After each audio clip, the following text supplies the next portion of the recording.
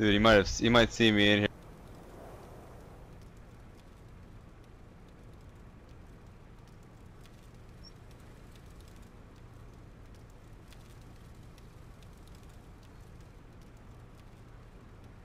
Welcome to Pakistan.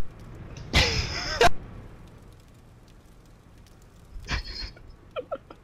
gonna do.